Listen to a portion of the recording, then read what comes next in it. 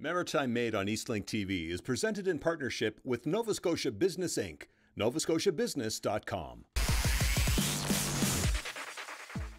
We have Kennebec, Lollipop, Dakota Pearl, Red Norland, Cyclamen, Annabelle, Yukon Gold, and of course, the famously delicious russet. What are we talking about?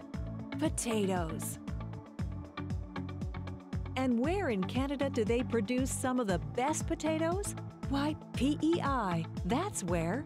And WP Griffin in Elmsdale, PEI, has a long family tradition of growing and shipping PEI potatoes all over the world.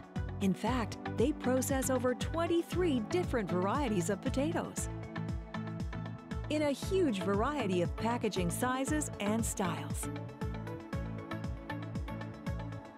With 15 large warehouses around the island, WP Griffin is able to process more than 30 million pounds of potatoes throughout the year.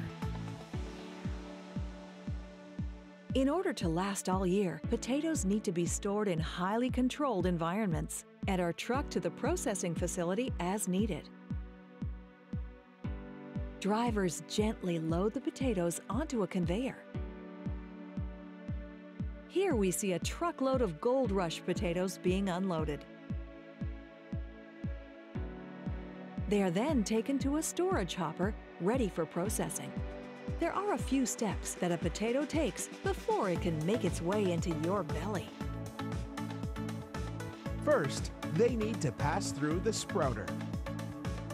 The sprouter shakes off any sprouts that may have formed during storage, as well as any larger pieces of dirt. The potatoes quickly make their way to a machine called the shaker.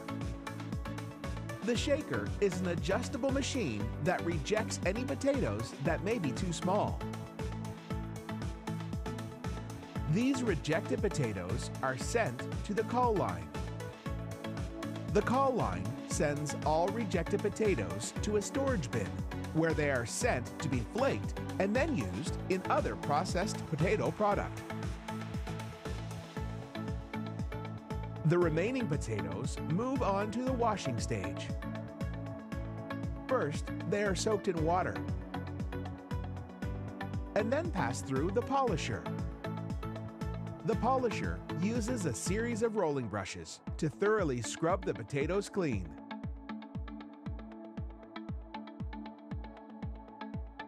Once clean, the potatoes are rinsed with fresh water. A series of spongy rollers removes any excess water that may be on the potatoes. These small red potatoes have already been washed clean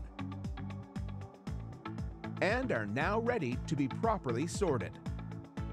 But first, all the potatoes that are processed in the facility need to pass under the metal detector, just in case a piece of metal has accidentally made its way into the facility. As they make their way to the Newtec sorter and grader, each individual potato is scanned by one of three high-speed cameras. The cameras are not only able to correctly size each potato, but they can also determine if a potato is rotten or has too many blemishes. These potatoes are sent to the cull line. If a potato makes it through the rigorous grading process, it's moved to one of seven large storage hoppers. Each type of product is temporarily stored in a separate hopper until it's needed. WP Griffin has three packing lines as well as a ready-made food production area. Potatoes are moved from the storage hoppers to the manual grading area.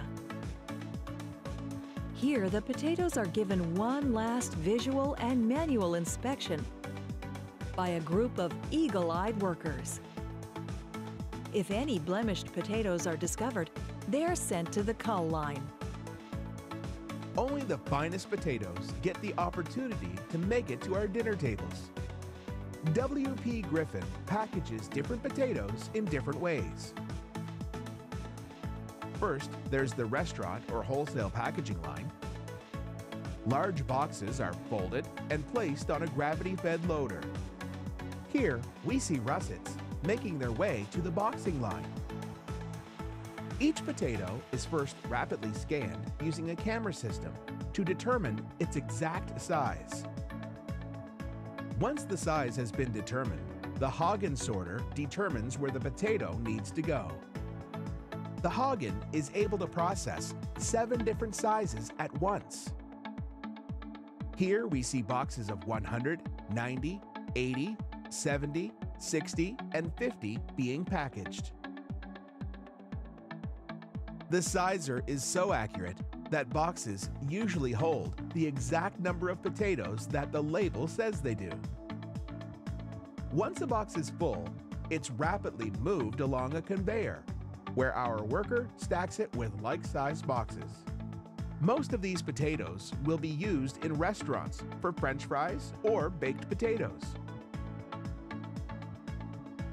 WP Griffin has two other production lines for bagging for consumers like you and I. Many different types of bags are packaged, including the traditional paper bags, in 5, 10, and 50 pound varieties. However, many of the unique varieties, such as these small red potatoes, are packaged in plastic bags.